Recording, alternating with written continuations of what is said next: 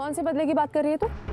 क्या जिद है पलकी देख मेरी तरफ़। कौन से बदले की बात कर रही है तू? उसने इतना कैजुअली आपको आपकी रंग की वजह से रिजेक्ट कर दिया। आपकी पर्सनालिटी सबके लिए आपका प्यार नहीं देखा।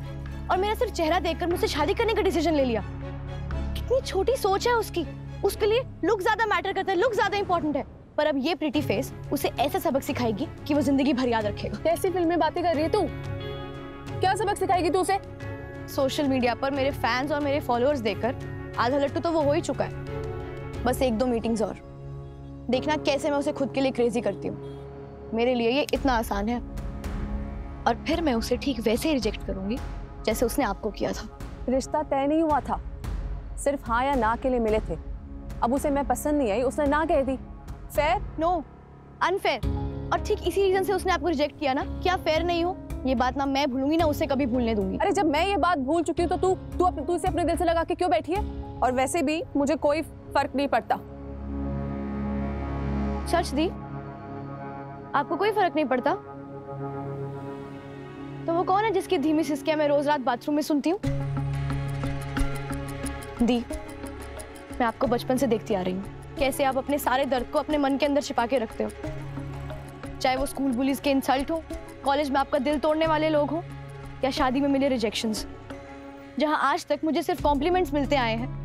आपको मिले हैं मीन कमेंट्स लेकिन आपने कभी किसी से कोई सवाल नहीं किया, कभी किसी से कोई लड़ाई नहीं की। पर अब और नहीं, आपके लिए मैं लड़ूँगी। बल्कि ये लड़ाई तेरी नहीं अरेंज मैरिजेस में फेयर से फेयर लड़कियों के साथ ही होता है। और ये सच कभी नहीं बदलेगा। लेकिन ऐसे लड़कों की वजह से मैं क्यों अपनी सेल्फ रिस्पेक्ट और अपना अस्तित्व खो? हाँ ये बात सही है कि मुझे भी बुरा लगता है। आफ्टर ऑल मैं भी एक इंसान हूँ। पर इन सब चीज़ों को दिल से लगाकर मैं रोती थोड़ी ना रहूँगी। और तू ये बचपना छोड़। और ये जो तूने रिवेंज का ये फालतू आइडिया अपने दिमाग में लाया ना इसको निकाल। बचपना है तो बचपना ही सही दी बल्कि का ये बचपना हमारी तो समझ में ना आ रहा। अरमान से शादी करने का ये गलत फैसला उसने कैसे ले लिया? अंजू फैसला सही है या गलत, ये तो वक्त बताएगा। बल्कि के लिए तो ये उसकी पूरी ज़िंदगी का सवाल है। उसने इतना बड़ा फैसला लेने से पहले कुछ तो सोचा होगा। हमने अपनी बच्चियों को इतना इसलिए पढ़ाया ना, ताकि वो अपनी ज़िंदगी के फैसले खुद लेने की समझदारी रख सके। बल्कि के अचानक ये फैसले को सुनकर गुस्सा मुझे भी आया था। लेकिन वो दिया के पापा का गुस्सा था। पलकी का पापा बनकर मैंने फिर एक बार उसकी बात पे गौर किया। अंजू, कहीं ना कहीं हम दिया के दर्द में इतना उलझ गए थे कि हमने पलकी की भावनाओं पर ध्यान देना कम कर दिया। उसके चेहरे पे कभी कोई शिकन नहीं दिखी। तो हमें लगा कि वो तो खुशी होगी। उसे किस चीज़ की ज़रूरत? वो तो अपने, वो सोशल मीडिया में, बाहर के लोगों में अपनी खुशी को ढूंढ ही लेती है। पर आज पहली बार उसने अपनों से हमसे कुछ मांगा।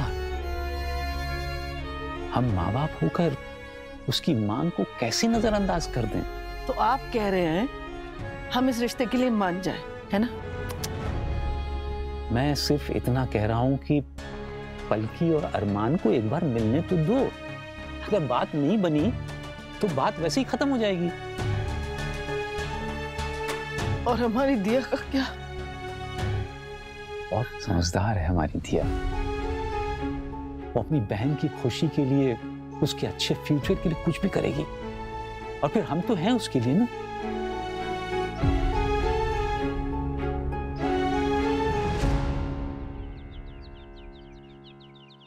कल अगर होटल में गेस्ट ज़्यादा हो गए तो उन्हें इन होटल में कमरा दिला देंगे। इनके साथ हमारी डील है। दिया? ऑल ओके तुम तो कहीं और खोई हो। हाँ। Sorry all all okay okay एक काम करते हैं दस मिनट बाद कंटिन्यू करते हैं ओके एक छोटू सा ब्रेक लेते हैं।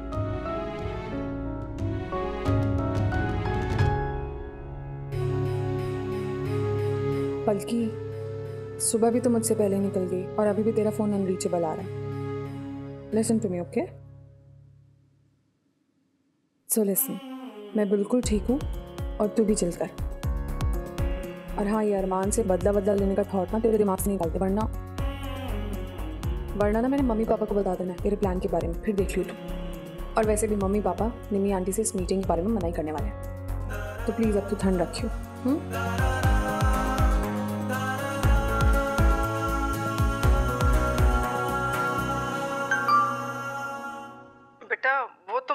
होगी ना इसलिए फ़ोन नहीं कर रहे हैं। वो ओ, हमें ना ये बताना था कि अरमान आज पलकी से मिल रहा है। निम्मी ने शाम का टाइम फिक्स किया है। तुम्हारे लिए ठीक है ना? मम्मी पापा अरमान और पलकी के रिश्ते के लिए मान गए तेरा सब ठीक है। तू भी और तेरा दिल भी।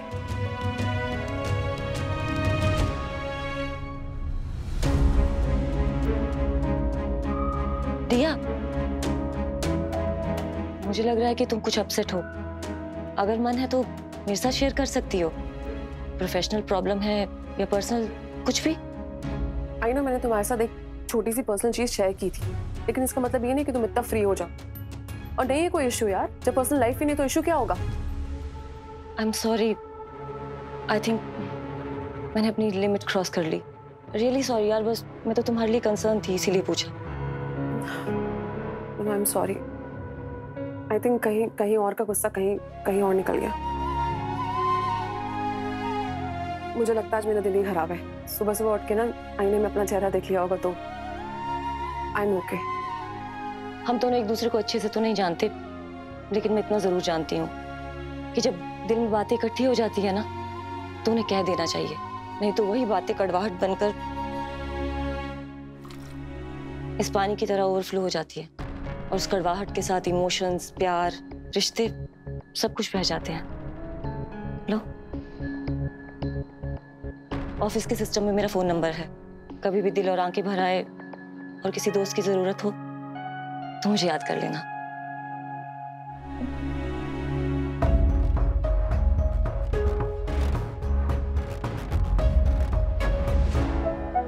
हाय एक्चुअली मैं यहाँ पलकी से मिलने आए हैं।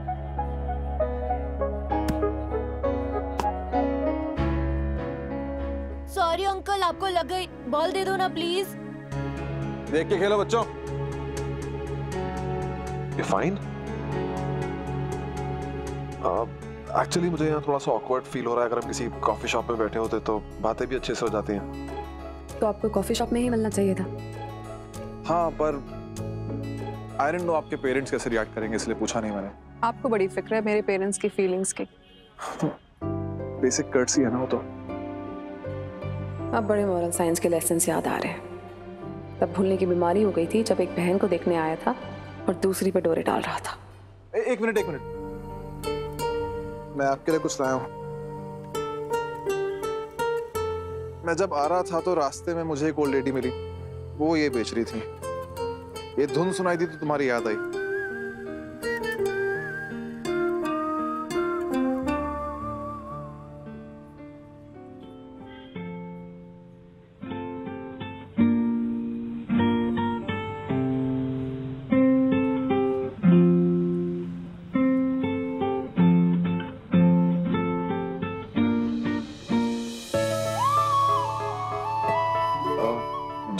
धुन सुनाई थी तो मुझे तुम्हारी याद आई।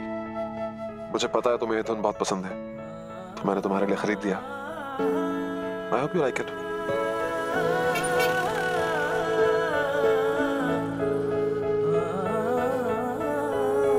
मुझे अब ये गाना पसंद नहीं है। क्यों? पर सबकी अपनी अपनी पसंद होती है। हम श्योर आपकी भी अपनी पसंद होगी। हाँ पसंद ना पसंद तो ठीक है लेकिन अगर कोई इतने दिल से कोई तोहफा लेके आए तो मना नहीं करते।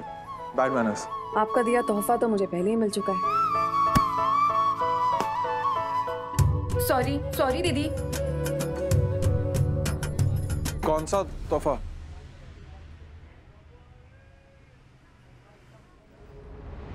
दिल में बातें इकट्ठी हो जाती है ना तो उन्हें कह देना चाहिए। नहीं तो वही बातें कड़वाहट बनकर पानी की तरह ओवरफ्लो हो जाती है।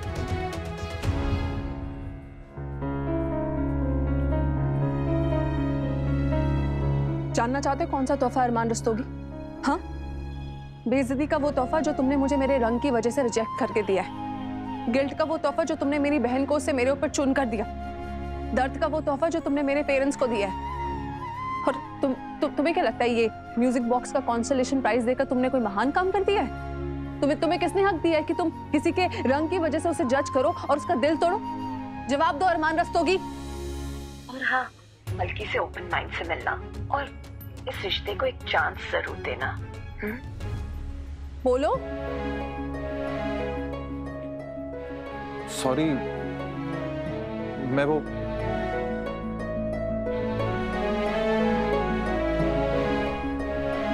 इतना आसान है इसके लिए?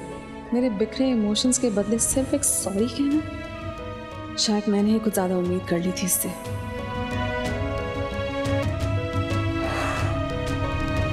ऐसा भी क्या हो गया? थोड़ी सी बात नहीं सुनी तो इतना गुस्सा हो गई। पता ही नहीं चलता कब मिस माथुर से मिस कठोर बन जाती है। आप भी ना पाँच सौ रुपए। अरे समझो तो सही अंजू सिर्फ़ पाँच सौ रुपए में तीन हज़ार जैसा दिखने वाला पर्स कितना बढ़िया है। अरे हमने ये सेम टू सेम पचास रुपए का देखा था सरोजनी में। हमने फिर भी नहीं खरीदा और अब पाँच सौ रुपए दे आए। पैसे हैं? भूल गए? अभी जानवी की शादी की है खत्म नहीं हुई और दो और बैठी हैं बयाने को। हाँ हाँ याद है। और कल बिजली वाले को जो छह सौ पैंतीस रूपए का आपने चढ़ावा चढ़ाया ना वो भी याद है। अरे वो तो अरे दिया?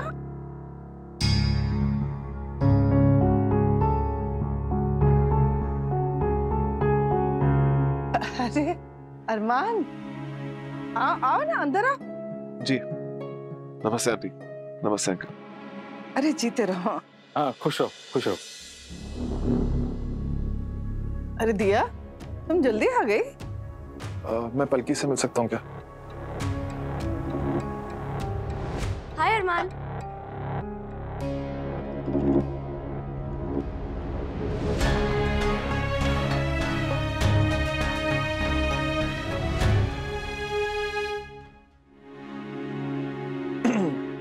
शायद आप लोग कुछ ज़रूरी बात कर रहे थे मैं बाद में आऊँ? अरे नहीं नहीं।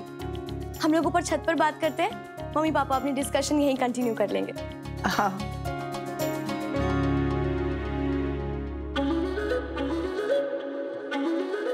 अगर आप लोगों की परमिशन हो तो हम छत पे बात कर लें। हाँ हाँ जाओ बेटा। बल्कि नीचे से लाइट जला लेना। दिन छोटे हो रहे हैं ना अंधेरा जल्दी हो जाएगा। हाँ हाँ। जी। आप मेरे लिए गिफ्ट लेकर आए?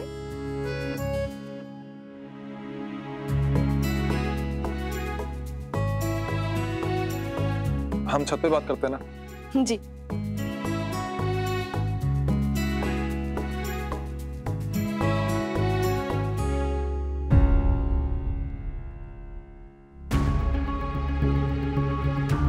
दोनों एक साथ कैसे लग रहे हैं? उनका ज़्यादा फ़र्क तो नहीं लग रहा ना? फ़िलहाल पलकी को देख के तो लग रहा था कि वो पार्टी के लिए ज़्यादा तैयार है। वैसे उम्र से ज़्यादा मन का मिलना ज़रूरी है। हाँ। तुम इन लोगों के चाय नाश्ता का देख लो। अरे हाँ। है ना? अरे कोई चाय वाय नहीं बनेगी यहाँ पर। क्या कर रही हो? गैस क्यों बंद कर दी तुमने? तुम पियोगी? चाय की चिंता छोड़ो पलकी की चिंता करो। उसे कोई इंटरेस्ट नहीं है ना उस लड़के में ना उसे शादी करने में। कैसी बातें कर रहे हो तुम? बल्कि ने खुद कहा ना कि वो अरमान से मिलना चाहती है। और देखा नहीं आज कैसे ऑफ़िस से जल्दी आई और फुदक फुदक के ऊपर गई है। कमरे में पूरा हुड़दंग मचाया ये पहनू वो पहनू सारे कपड़े बिखेर दिए। उसका मन बदल गया बेटा। कोई मन नहीं बदला उसका।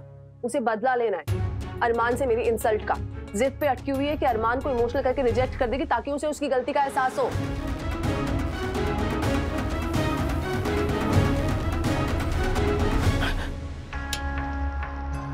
कुछ भी बोल रहे हो। बल्कि इतनी बचकानी हरकत क्यों करेगी? वो बच्ची है। वो भी एक जिद्दी बच्ची। ये जिद, बदला, ये सब फिल्मी बातें होती हैं। असली ज़िंदगी में ऐसा कुछ नहीं होता। हम शादी की बात कर रहे हैं। और शादी में ना सिर्फ़ दो लोग नहीं दो परिवार जुड़ते हैं। मज़ाक की बात थोड़ी है। और बल्कि छोटी ज़रूर है लेकिन इतनी भी ना समझ नहीं है। मम्मी तुम मेरी बात को क्यों नहीं समझ रही हो? तुम्हें अरमान पसंद था? नहीं। मुझे क्यों पसंद है वो? I am not interested in वैसे भी वो मेरे टाइप का भी नहीं है। ये स्टबल वाले लड़के मुझे वैसे भी पसंद नहीं आते। और आ, आपको मैंने पहले भी कहा है ना कि मुझे शादी वादी में कोई इंटरेस्ट नहीं। फिर से वही सवाल। कहा ना आई एम नॉट इंटरेस्टेड हाँ लेकिन पलकी तो है। अरमान में भी और शादी में भी।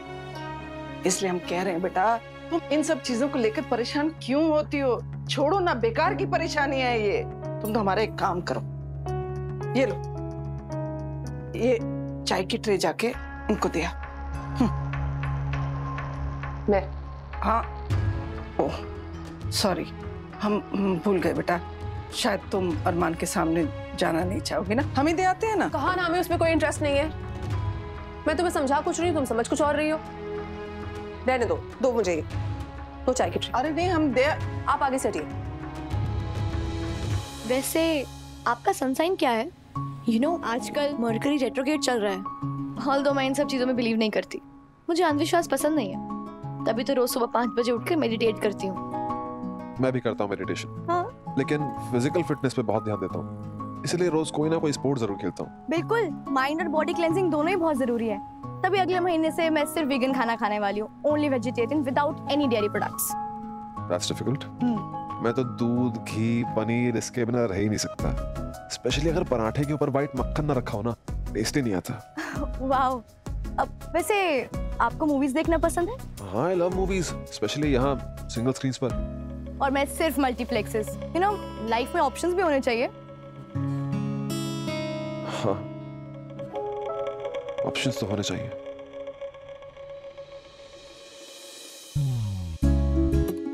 यार डिफरेंस सिर्फ़ एज गैप का नहीं है। डिफरेंस उससे ज़्यादा है। मैं स्लैम बुक के जमाने का हूँ वो सोशल मीडिया के जमाने की।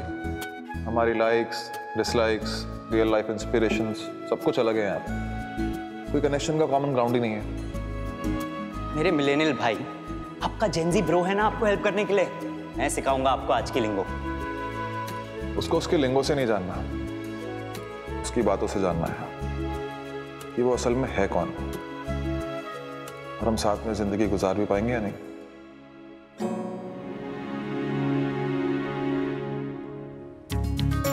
Uh, वैसे मैंने सुना है आपकी सोशल मीडिया पे बड़ी following I know I know अब आप यही कहेंगे ना कि मेरे प्रिटी फेस की वजह से मेरे कितने सारे फॉलोअर्स हैं। नहीं नहीं नहीं सिर्फ़ प्रिटी फेस नहीं टैलेंट हार्ड वर्क ये भी तो बहुत मैटर करता है। प्रिटी फेस का क्या है? आज है कल नहीं। टैलेंट हमेशा साथ रहता है। और आजकल हर किसी के पास स्मार्टफ़ोन है हर कोई सस्ता डेटा प्लान लिए घूम रहा है हर कोई पिक्चर्स पोस्ट कर रहा है। इस भीड़ में कुछ अलग सोचना उसे बनाना उसे सही लोगों तक पहुंचाना बिल्कुल आसान नहीं है। और मेरे ख्याल से आपका प्रोफेशन किसी भी प्रोफेशन से बहुत ज़्यादा मुश्किल है और I think it's very risky हाँ वो इजी तो नहीं है। अब रोज नए नए आइडिया सोचना फिर उनको क्रिएटिवली रिकॉर्ड करना। अपने फॉलोअर्स को क्या पसंद है क्या नहीं पसंद है उसका ध्यान रखना। ब्रांड्स के साथ कोलैबोरेट करना नेगोशिएट करना अपने आप को सेलेबल बनाना। अपने आप में एक कंपनी है। I think your one woman army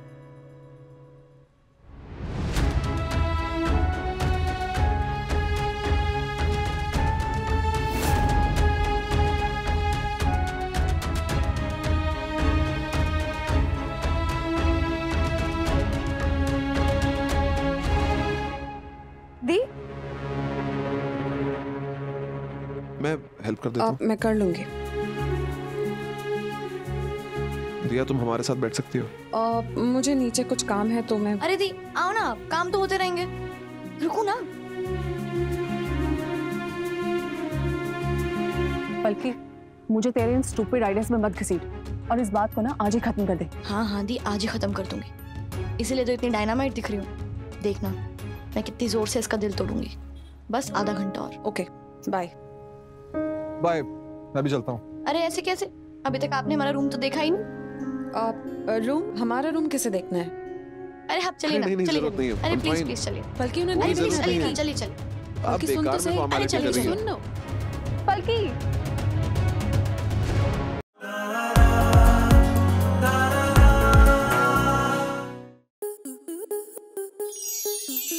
plus के ऐसे ही और बेहतरीन लम्हे देखने के लिए सब्सक्राइब करें हमारे यूट्यूब चैनल को।